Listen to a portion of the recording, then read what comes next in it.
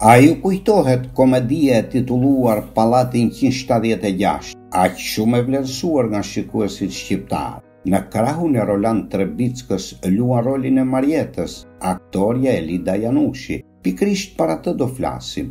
Talentin e saj brilant e të spikatur si aktore, e zbuloi së pari artisti i popullit Naim Frashëri, i cili u kujdes edhe për vazhdimin e shkollës së lartë për aktore në Tiranë, që e mbaroi shkëlqyeshëm, por më shumë se sa kaq spikati talenti i saj natyror.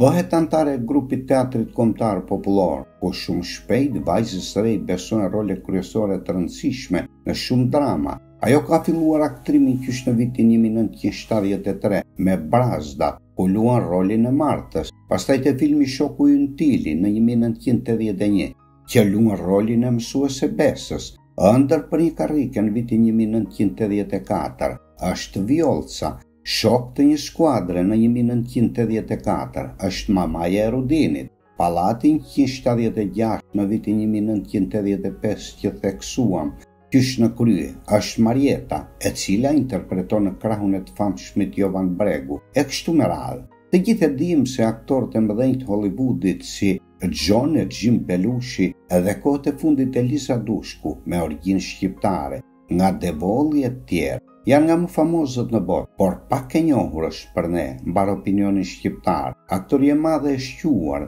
edhe e talentuar, e Teatrit Kombëtar, Elida Topçiu Janushi, nga Vishocica e Devollit. Elida u bë tepër e dëgjuar me komedinë Pallati njëqind e shtatëdhjetë e gjashtë, me interpretimin e rolit kryesor bashkë me të madhin Roland Trebicka, Vani me Marjetën, me atë zërin e ëmbël e të folurit me aksent të Devollit, por më shumë me humorin e saj të thellë e popullor.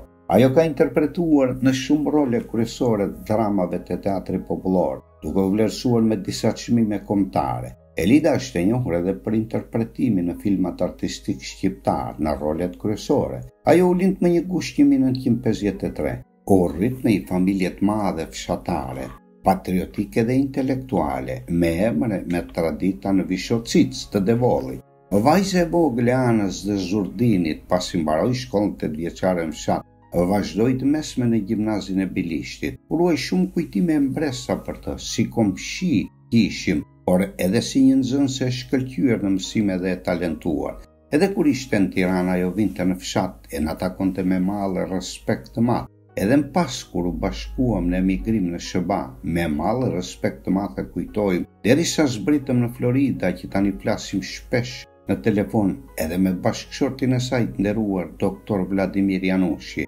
Ajo edhe kur u rrit i ruajti traditat dhe virtytet e vajzave të thjeshta e të mençura, devollesha, por edhe të talentuara, më pas bashkë motrat e mëdhaja të saj dhe me dhjetra vajza intelektuale vishocare, dolën vullnetare e shkuan për të punuar në Kombinatin e Tekstileve në Berat, ku u shquan si punëtore të kualifikuara. Atje mori pjesë në grupin e teatrit, me të njëjtin rol që kishin interpretuar më parë me grupin famoz të teatrit të Vishocicës, shumë të dëgjuar në Devoll e në Korçë. Talentin e saj e dalluan që nxënëse me ato recitimet emocionuese, më pas me teatrin e shkollës. Në ato vite i drejtoja si mësues, kisha në Vishocicë grupin e teatrit, nga ku ishte edhe bërthama e grupit teatrit amator. Një vajzë e re dhe e njomë i besohen disa role, me të cilën kam pasur partnere në role kryesore në dramën Njerëz në brezat tanë. Duke biseduar me shoqen e saj të ngushtë e partnere në disa role kryesore të Teatrit Kombëtar, me Pavlina Manin, bashkë me regjisorin e madh Pirro Mani, në New York, ata s'e ndajnë nga goja, duke folur për të, si njeri, e si një grua e përsosur dhe emancipuar në familje me burrin dhe me fëmijët, dhe shumë e dashur e popullore në shoqëri.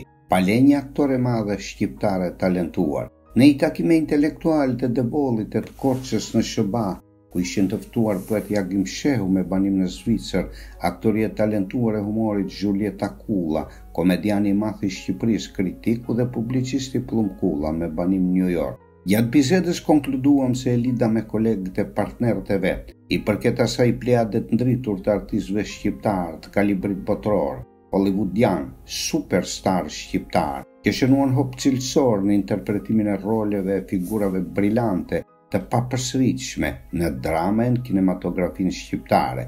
Për gjithçka që përmendëm shkurt më lart, mendojmë se Figura të tilla të artit kombëtar si Elida meritojnë më shumë vëmendje e interes nga media dhe institucionet kulturore, të cilat i kanë dhënë artit e kulturës kombëtare shqiptare talentin e shpirtin e tyre artistik. Kanë bërë emër duke ia ngritur lart emrin Devollit, vendit e krenarisë kombëtare, teatrit dhe kinematografisë.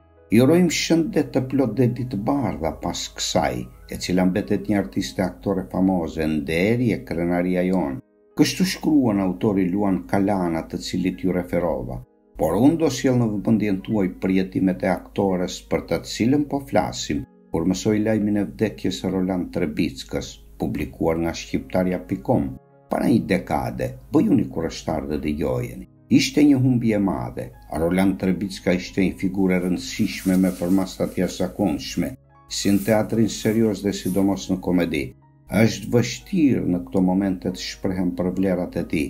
Sa mora lajmin jam tronditur shumë, për Rolandin si aktor. Jam tronditur si kolege, si partnere rolesh. Sigurisht, realizimi i rolit ishte meritë e tij.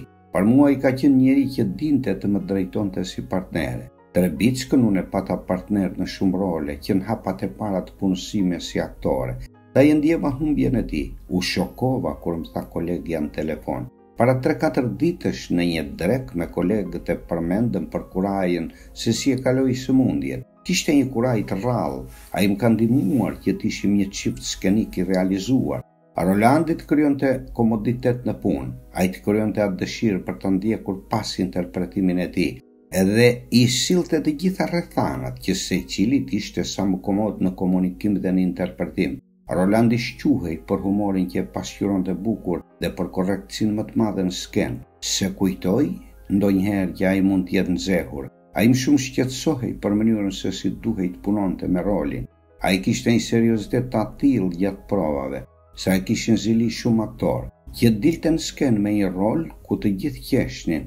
Kjo Rolandit i kushtonte një përpjekje shumë serioze gjatë provave. Po çfarë të kujtoj më parë, unë gjatë gjithë punës si aktore kam punuar shpesh si partnere e Rolandit. Unë do ta kujtoja këtu edhe një rol që e kam pasur partner, ku luanim dy figura nga veriu, ishte rol shumë serioz.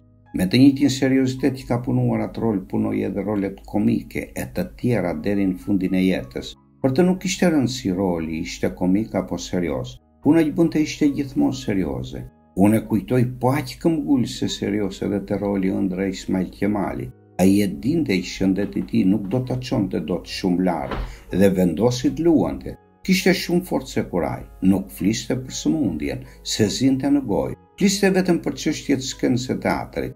Nuk kam shumë kohë që e kam takuar. Ai vinte edhe Pas rolit të Bellit, vinte në oborrin e Teatrit Kombëtar dhe dilte me ne, edhe për të pirë ndonjë kafe dhe bisedonim. Por për problemet e shëndetit nuk e jepte veten. Ai ta lehtësonte bisedën me humor. A vdekja e Roland Trebickës ishte humbje e madhe, nuk gjej dot ngushëllim. Nuk gjej dot ngushëllim as për familjen e tij. Ishte humbje e madhe edhe për kolegët, për partnerët e tjerë që kanë luajtur me ne në teatër. Këto janë fjalët e elitës së talentuar, Edhe sa mirë që artistët shprehin vlerësime për ata që i meritojnë, që na kanë dhuruar emocione të papërsëritshme. Ata meritojnë kujtesën dhe nderimin tonë. Faleminderit.